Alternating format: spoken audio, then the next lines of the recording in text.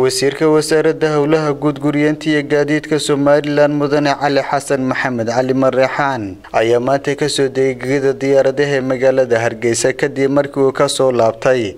Xaalad caafimaad oo mid ka mid a awlaadiisa ugu qaaday dalka hindiya halkaasoo uu ku galay qaliin dhinaca keliya islamarkaana arrintaasi qaabab kala duwan oo siyaasadeysan looga hadlay. Waxaana madaarka magaalada hargeysa wasiirka ku soo dhoweeyey xubno ka mid a golaha wasiirada ee xukuumadda somalilan agaasimaha guud ee wasaaradda howlaha guud iyo qaar ka mid a shaqaalaha wasaaraddaasi xildhibaano ka tirsan golaha wakiilada iyo golaha deegaanka ee degmada burco kuwaasoo dhammaantoodba qaab shucuuraysan. Ugu soo dhoweeyey madaarka magaalada hargeysa. Maanta waxaan isugu nimid madal aan ku soo dhoweynayno wasiirka wasaaradda howlaha guud cali xasan maxamed oo in muddo ah ku maqnaa waddanka dibaddiisa dalka hindiya oo u maqnaa hawl caafimaad alxamdulilahi rabbialcaalamiin iyadoo howlihii lagu soo guulaystay wasaaradduna in badan iyo waddanka iyo siyaasadduba in badan ay tabayeen wasiirka.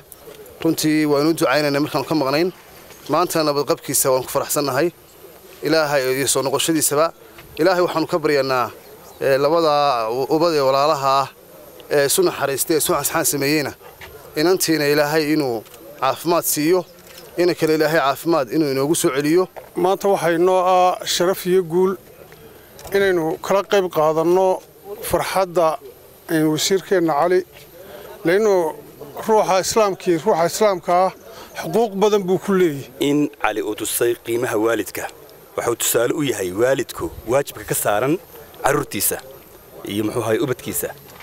Waxaa ilaahay mahaddii ah in guul uu ku soo dhammaaday safarkii caafimaad. Inay wasiirkaas soo dhoweeyaan ay maxaan ku dhahay teegaaro taageero xagga maxaan ku dhahay isla garab taagaan moralkaa dareenka na soo kiciya waa dareenkaas. Inaannu soo dhoweyno saaxiibka iyo cali. Annagoo doonayna inaannu niyad ahaan ka taageerno culayskii faraha badnaa ee ku dhacay ee xagga caafimaadka.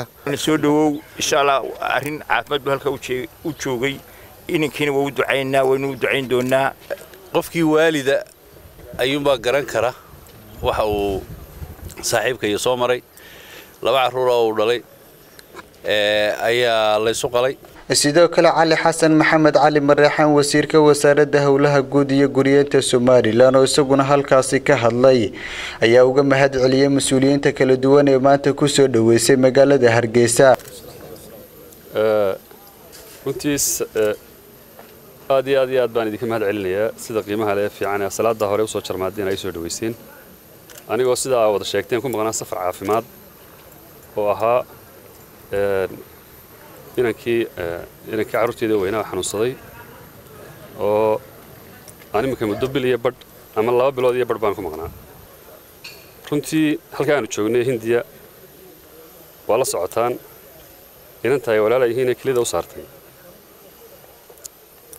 iyadoo gadar joogta oo jaamacad ka dhigata bay go'aansatay inay kelida u saarto. Anigu mar qura kalama hadal. Aabbaheed baa ila soo hadlay wuxuu igu yidhi inantaydii iyo ku imanaynaa oo walaalkaya oo iga weyn. Marka inantii sagal cabdi xasan ayaa go'aansatay inay u saarto kelida. Dhowr iskuday oo ka horreeyey oo anigu eegan ka mid ahay baa iskama waayanoo suuro geli weeyey sidaa awadeed iyadaa go'aansatay. Hadda iyadiina way caafimaad qabtaa. Sideennaasoo kale weeye? Si toosahoo macno wey baa ilahay inoo tusayey ilmo yar labaatan jira oo keliyuu fadhiisteen. Qofka xasaradaynaya waxaa layna tusayaa inay xumaani ka buuxdo. Mar haddii ay camaliyaddii iyo wixii naajaxday ummaddoo dham iskaga garab taagtay waxaan leeyahay iyaguna waxa weeyaan waxaa la yidhi aargoosigana waxaa ugu wanaagsan cafiga cabdiraxmaan cabdilaahi fantastic star t v hargeysa